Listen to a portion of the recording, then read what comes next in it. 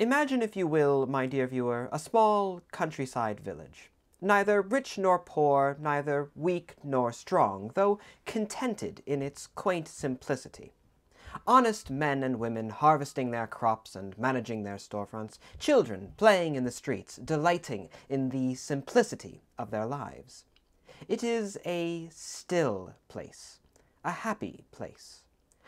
Until one day, that stillness is disrupted. Uh, perhaps it was a comet streaking brightly across the sky, or a sudden, unforeseen storm.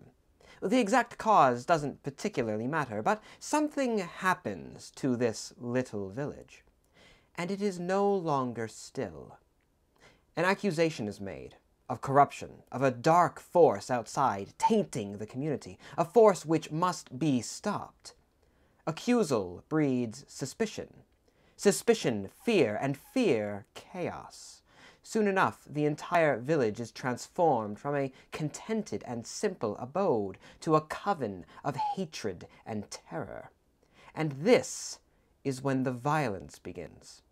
Tradesmen find their shops looted, farmers their lands stolen, Women are whipped in the streets and dragged by horses. Men are crushed between stones. And the great tree in the town center, once proud and lush, is now nourished by the blood of the corpses which dangle from its limbs. This corruption, this chaos, spreads as a pestilence through the countryside, infecting all that it touches, and soon neighboring communities find themselves shipping human chattel to the village to be tried and slaughtered for fabricated crimes. The years pass, and slowly the accusations stall. And after some time, things begin returning to normal, whether by divine intervention or sheer exhaustion, it is unknown, and the villagers return to their old ways, those that are left at least. Eventually, it is decided by the community that something ought to be done to mark the village's past, Is something to commemorate the events and keep the history in memory to encourage a cultural awareness of the past. And so the village throws a festival, a massive celebration with games and rides, singing and dancing, with engorgements of food, drink, and carnal desire. To honor their falsely accused mothers and fathers, the children emulate their dress in comedic fashion, wearing hideous makeup and masks to take on a mocking and surreal caricature of the beasts their parents were accused to be, that which they were murdered for. And every year the festival grows and grows until eventually the entire identity of the village comes again to revolve around that same violence and chaos of old, though now as a matter of pleasure and delight, even pride. There are, of course, those in the village who object to this merriment and delight, uh, much to the consternation of their fellows.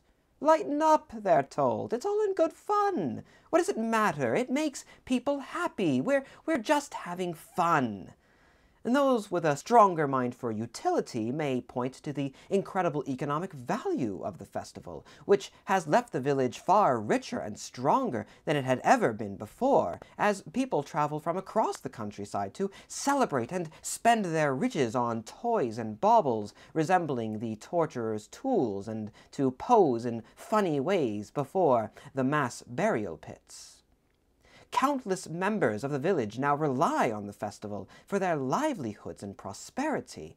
In a way, it is effectively argued the terror was the greatest thing to ever happen to the village. It turned it into a cultural icon. Look at the happiness it has created, the prosperity that it has generated.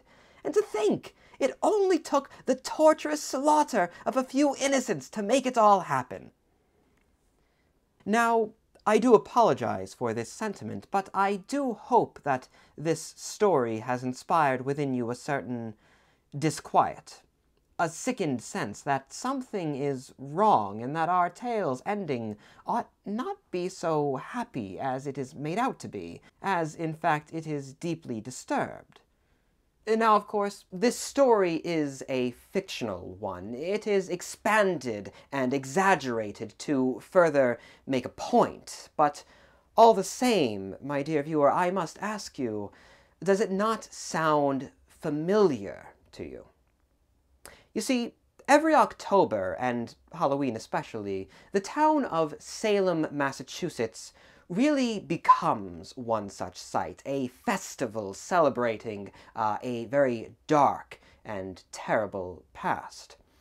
The streets are filled with people. Food carts line the roads. Uh, uh, shops and stands sell their baubles and their wares, making mockery of the tortures of the past. There are games and little rides, carnival rides or fair rides, in the streets as well. And uh, of course, there are all sorts of performers lining the way on top of it all.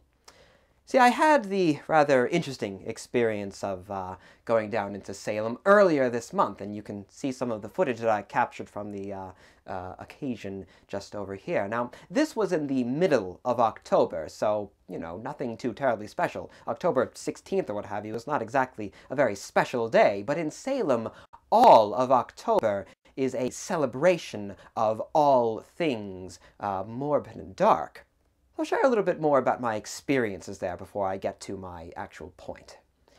The crowds, of course, were so thick, as you can again see from some of those screenshots, that uh, at times my party and I were forced to go into single files in attempts to try and weave our way through them. Uh, arms kept tight to the body, and of course uh, making sure you keep careful watch of your valuables and belongings, uh, lest something gets snatched out in the crowd, uh, as if moving through some major hub of a city, like some New York or Trafalgar Square or something. There were countless shops and stands open on the side, each one of them touting some sort of uh, witchcraft theme product or other. Uh, uh, one shop, for example, happened to sell heaven forbid, I don't, I don't even know what they're supposed to be really, but little vials of, of, of powder, of colored powder or something like that, uh, uh, with the aim, of course, that if you were to, I guess, mix them into a potion of some sort, uh, they might increase particular aptitudes and uh, tastes, you know, things like um, charisma or intelligence or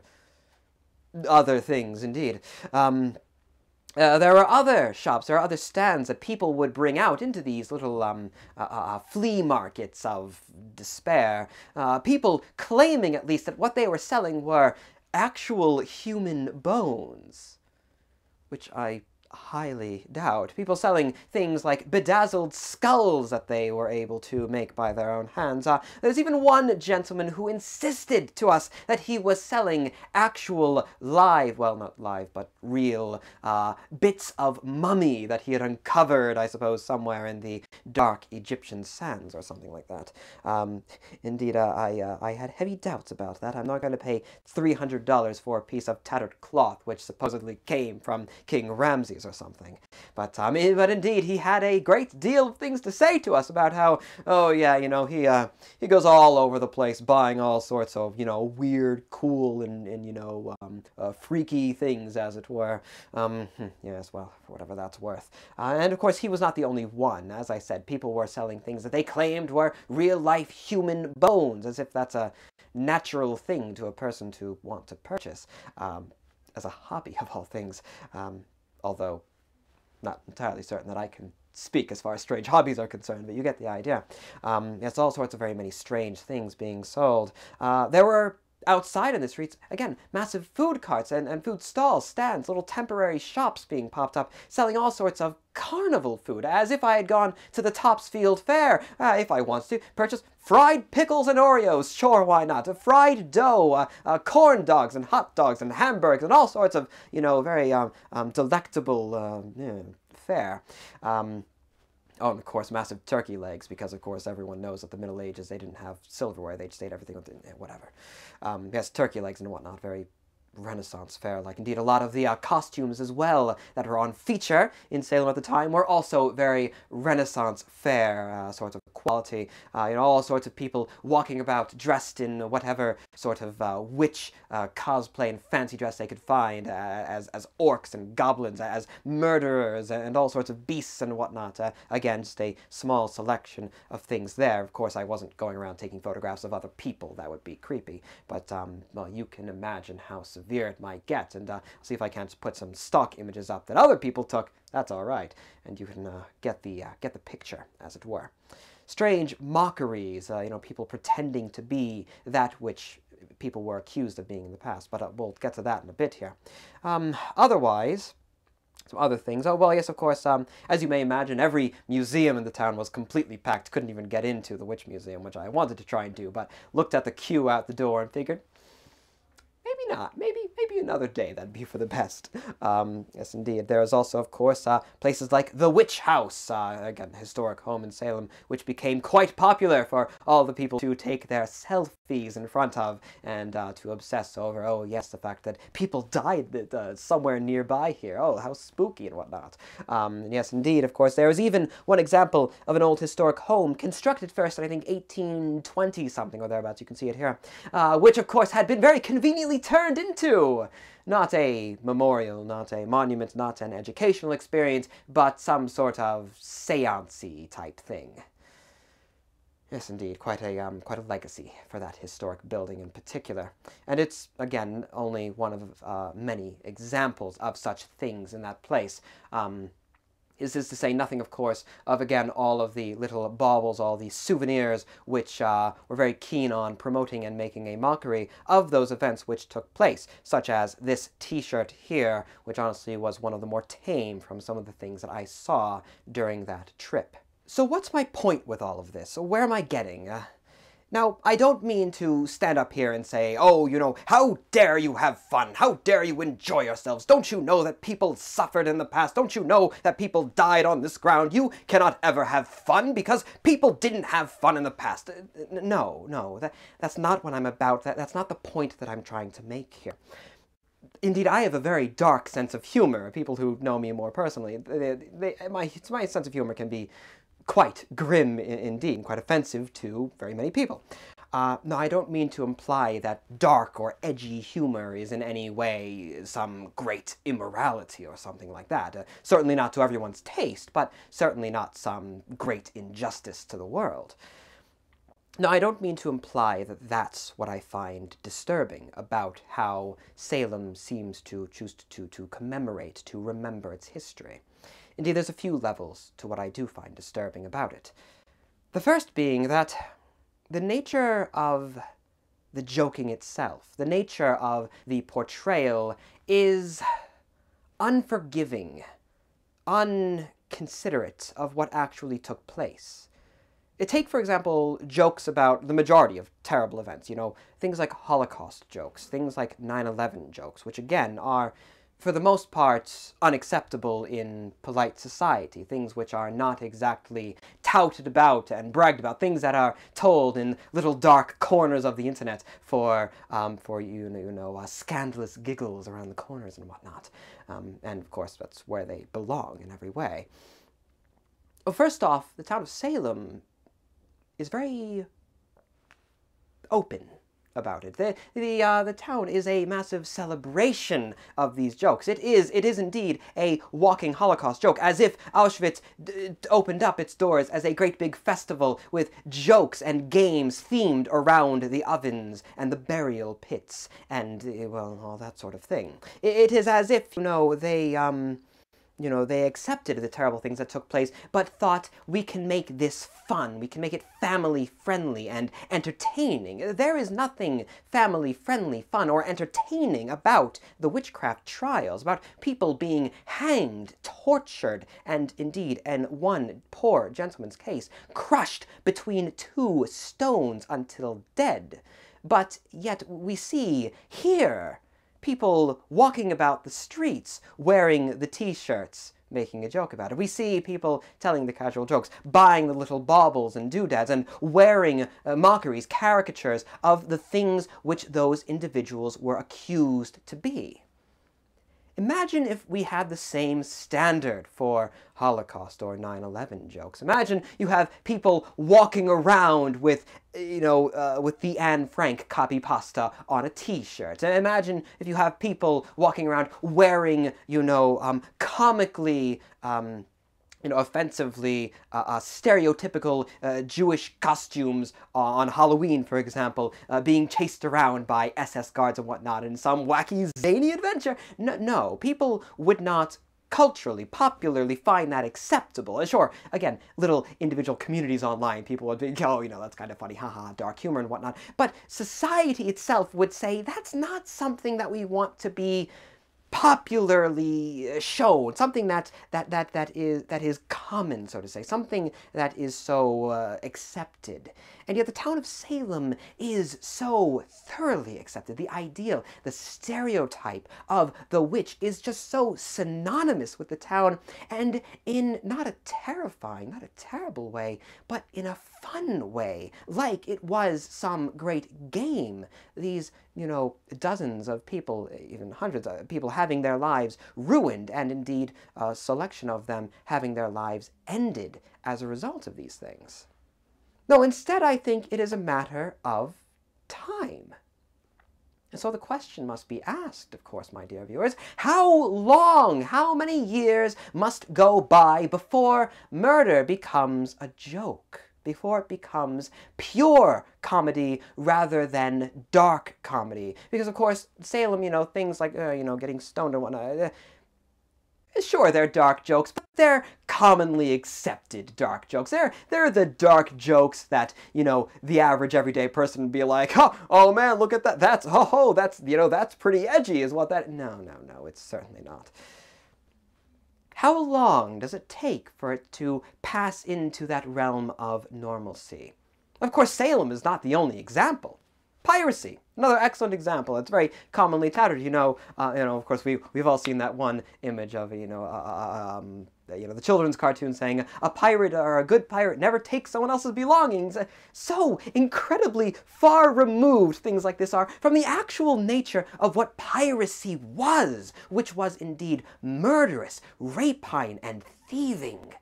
Salem is the same way. It is what we see, what we have, so far removed from the actual nature of the event, going from innocent individuals being accused of something terrible completely out of the blue and having their lives taken for it, suddenly now transformed into a celebration of the thing that they were accused of doing we're really in that way stamping on that memory, spitting on the graves of those who passed away.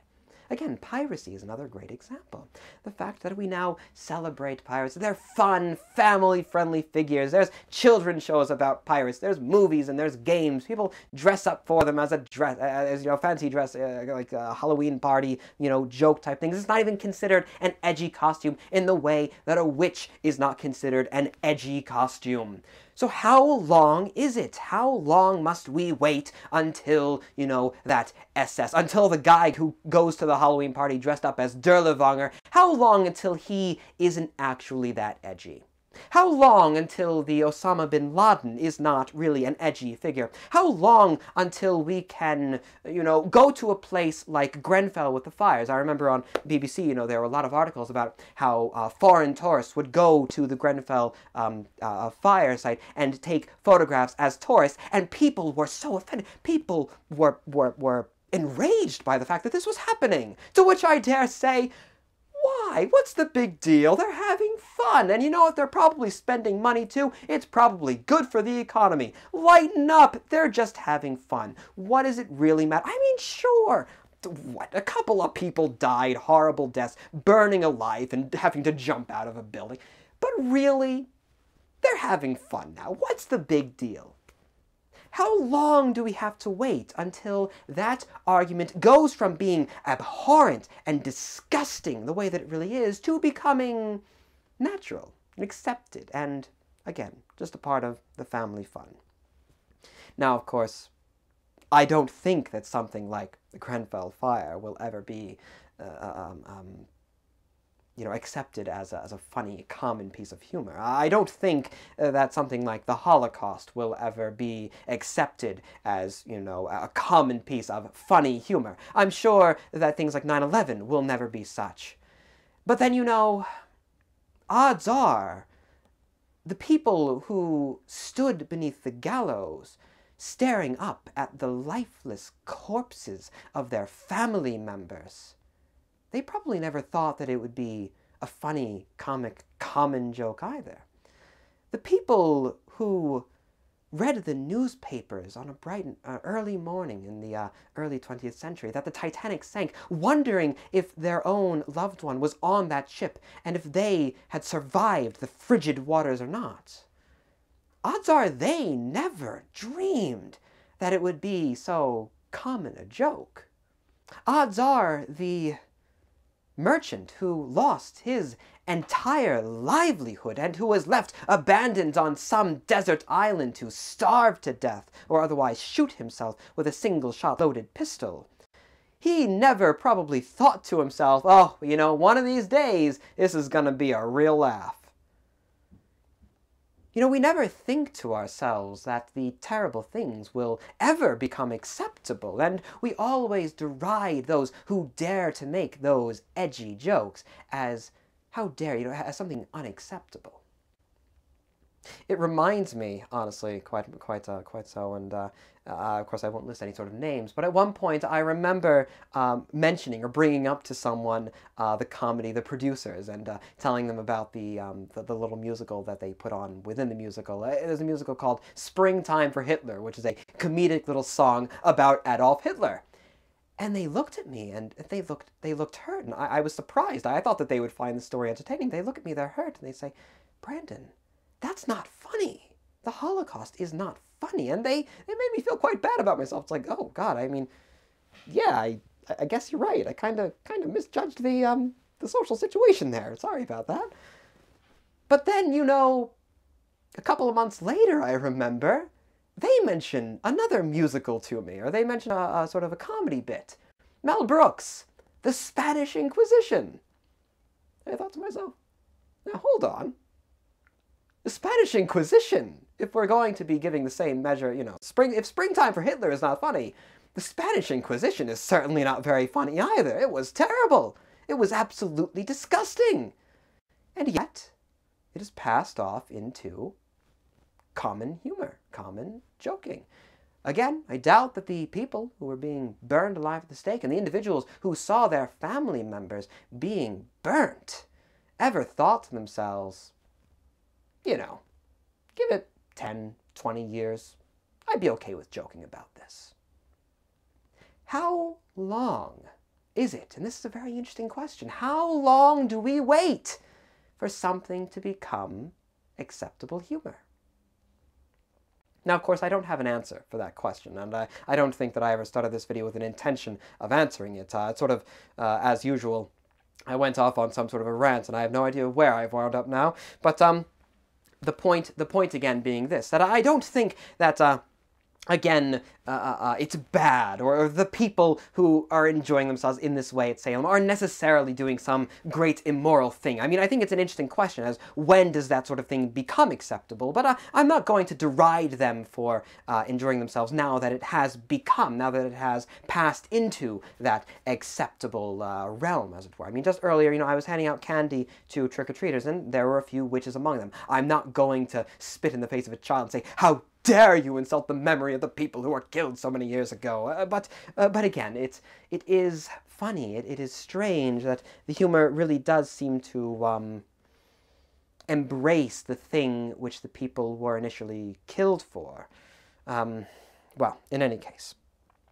I think one final uh, thing that I'd like to sort of wrap it up with, uh, uh being that the town of Salem as well seems to really promote this idea this this this this portrayal of the past. It, it really embraces this identity as the Halloween town because, of course, it profits massively from it and its people become wealthier as a result, if also suffering much longer commuting times on their way to work every morning. And yet, I think as well that there is a better way. There's a better, a more honest, a more pure way to remember the past. You see, not all of Salem is this abomination. Not all of Salem is this mockery of murder and torture. There were at least some sites in the town that seemed to remember the past for what it was. There was at least one memorial that I found, which I won't go into too many details about it, but you can see some footage and photographs of it here, which was a peaceful place, a, quiet place when compared to the chaos of the town which surrounded it. A simple, small park, you know, a little um, green way with um, a stone walkway stretching around it, and uh, on or along this walkway, along a, uh, um, you know, a, um, a chest-high stone wall, there were uh, pieces of stone protruding out of the walls, and uh, each one of these stones was not a bench, uh, as it first may have seemed to be, but each one had on it a name. A name of a person who was falsely accused and murdered for that accusal um, as a result of the, of the witch trials. It had their name, it had a date when applicable, and it, it had the, the method of their death. And indeed, there were at least some individuals, some good individuals, who saw fit to lay flowers at these names, perhaps ancestors, perhaps some sort of a town uh, uh, um, community, you know, um, organization of some sort, but, but someone did see fit to lay some form of memorialization, some remembrance, uh, some acceptance that these people suffered an unjust and cruel fate. There were at least some people among that community who were willing to do that. There was another place um, very different in tone, very, very different sort of place, but uh, which I, I, think also did a very good job at memorializing and remembering and, and, and indeed making an event out of, making, you know, a, a touristy spectacle type thing out of the witch trials, but in a way that also respected the history. And for that reason, because it respected the history, I enjoyed it so thoroughly, so much. And I think honestly that it is such a better way of going about this, a way to make, again, something terrible and tragic in history not only interesting and entertaining, but also educational, worthwhile, meaningful, and respectful. And that was a, a play, actually, sort of a, an interactive play of sorts, at a historic home called the House of the Seven Gables, where um, it was actually in the uh, Nathaniel Hawthorne home, um, sort of at the same location, um, where we were, you know, a little tour groups. We were able to go from room to room, and uh, in each one there was a different actor or a series of actors uh, portraying different historic figures from Salem during the witch trials. So there was one, there was uh, one of the judges who was so very keen on purifying the town by any means necessary, and he raved to us about his, his vision, his dream, and how what he was doing was a sacrifice for all of us, and how we must, of course, repent lest our souls be damned to hell, all that sort of thing there were, you know, the three girls who were, you know, looking out the window, young girls looking out the window and, um, you know, talking about how they're seeing some, something wicked this way comes and whatnot. And they turn around and, you know, then, oh no, you know, all of the, the, the, the tourists, the people who were watching the play were actually the spirits. And they accused all of us of being witches and of corrupting their minds. And, and then they went into hysteric fits, screaming and crying on the ground before choking and, and, and dying and whatnot before as, again, sort of to showcase the, the, the, the origin for the hysteria being the, well, well, indeed, the hysterics of young girls, effectively. There were people accused of the witch trials. Uh, um, there's one in particular, an old woman. Oh, she was she was an incredible actress. This older woman, and she uh, she sat actually in a chair, old clothing, of course, behind um, little iron bars, you know, a little jail cell type thing.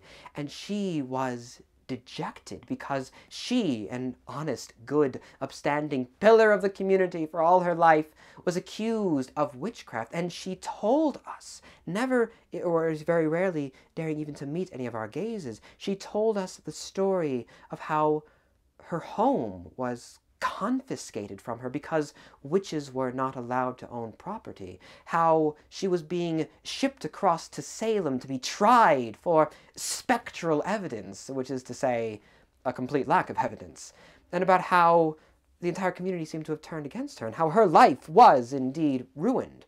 And she spoke about all the others in her jail cells, as it were, and how all of their lives as well had been ruined, and how even if, you know, as seem uh, as uh, things seem to be um, you know, during that time, you know, um, sort of uh, that was portraying a little bit of a later period of the witch trials when things were sort of winding down a bit. How, well, yes, in fairness, uh, you know, uh, they're probably going to survive, but these people being jailed, having their lands taken from them, having, you know, all these different things, even if they aren't going to be killed, their lives are irreparably damaged. Their lives are ruined forever forever, far more than just the, what I think, 16 or the however many it was that were actually killed. Many, many others had their lives destroyed by the hysteria of the trials. And the way that she portrayed it was incredibly sorrowful, very meaningful. And she ended actually her little spiel on a note of don't allow it to happen again. You know, hear our story is effectively what she said to us. Hear what happened and keep it in your memory. Do not allow the memory to die. Keep it forward and do not allow such hysteria to take over a community again and have such destruction be wrought as a result of just outright and senseless fear. And there was there was another. There was um, the very last performance was a young girl who, um, after the trials, rather, sat in a chair, guilt-ridden, looking at the ground, explaining how she had made accusations about people in the past and how she had been the one to uh, accuse these people of being witches and ruin their lives. And she didn't know why, but of course she was a young girl, senseless, and, and something, you know, but she was describing effectively the hysterics which took over and, and how she regretted what she did so very dearly. Her life as well ruined in the same way, or at least very similar way, as many of the accused were because of the weight of the scarring that such knowledge would impose impose on an individual. And the very last performance was of a priest, of a man after all of the um, insanity, as it were, standing at the pulpit and offering a conclusion, again, uh, uh, the regret and the shame that they, as a community, felt for what they did. The performance was spectacular. It was honest. It was believable. It was educational. And it was entertaining. It was about the witch trials. It was about, you know, the hysteria. It was, as well, respectful. It understood what actually happened. It didn't have to have someone dressed all in, you know, in green face paint with black clothing, cackling and talking about how she's going to get you, your pretties, and all that sort of thing. No, it actually recognized this is what happened. It was terrible. Let's talk about it in an honest, fashion. And I think, honestly, that the people who went in there, because a lot of them, as you may imagine, were the people all dressed in black with the funny hair and, the, and all the doodads and the Wiccan symbols and all these silly little things. And I'm sure that a lot of them were there because witches were cool and witchcraft was interesting. Da, da, da, da, da, da, da.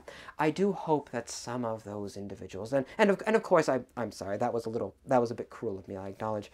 Um, a lot of them were just regular people, everyday people who were going to the town of Salem because, again, because witches are fun. Witches are entertaining. It's a joke, it's entertainment, it's fun.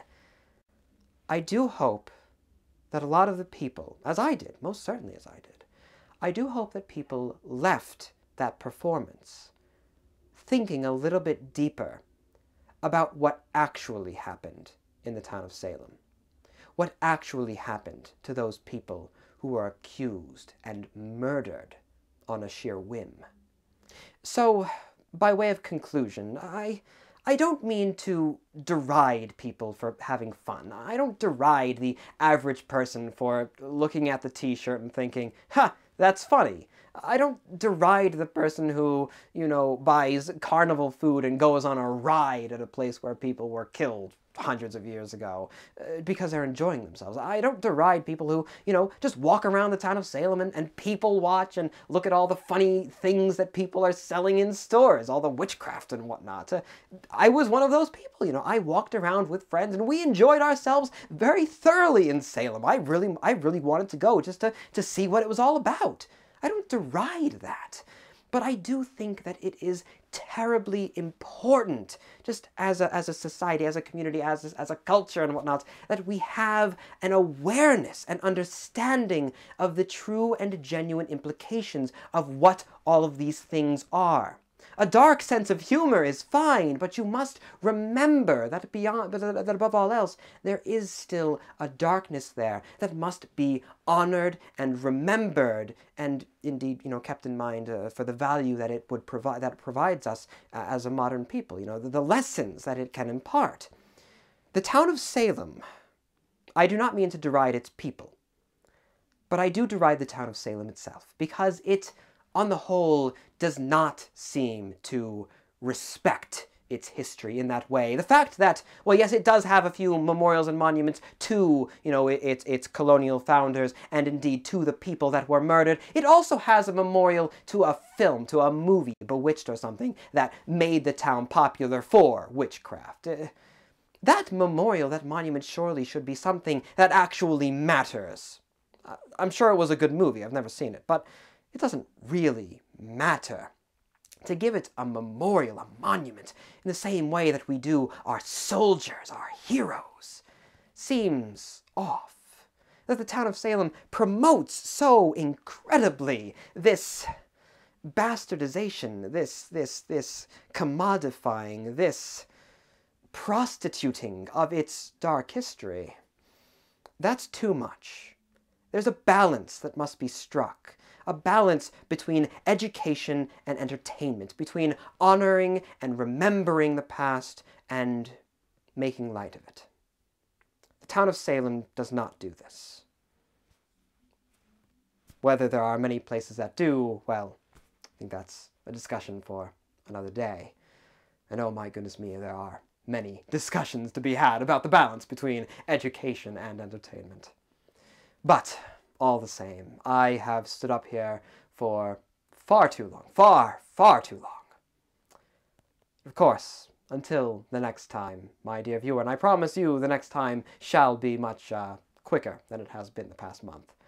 I am, and I shall remain, your most humble and obedient of servants. And of course, to everyone, I do hope that you at least had, as the hour is long gone now, a happy Halloween.